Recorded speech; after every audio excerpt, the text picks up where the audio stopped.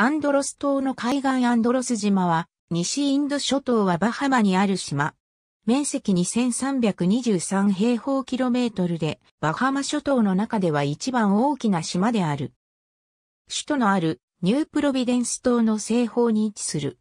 アンドロス島は石灰岩からなるサンゴの島でマングローブの泥地があり、クリークも多く見られる。島の東側は延長 225km のアンドロスバリアリーフになっている。人口は約1万人。島最大の町は人口800人のニコルズタウン。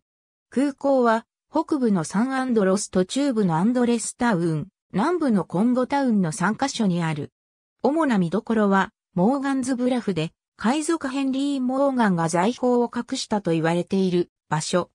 北部のレッドベーズには、アメリカのフロリダから逃亡した黒人奴隷とセミノール族の子孫が暮らす。1550年にスペイン人が到来し、ライスラデル・エスピーリト・サントと呼んだ。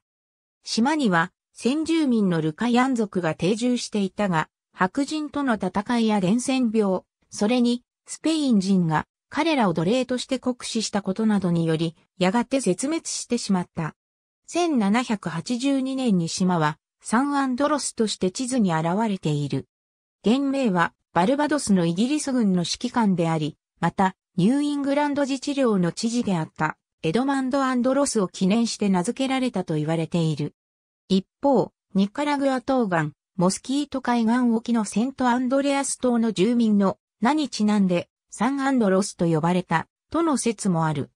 19世紀にヘンリー・モーガンをはじめとする海賊が島を占領した。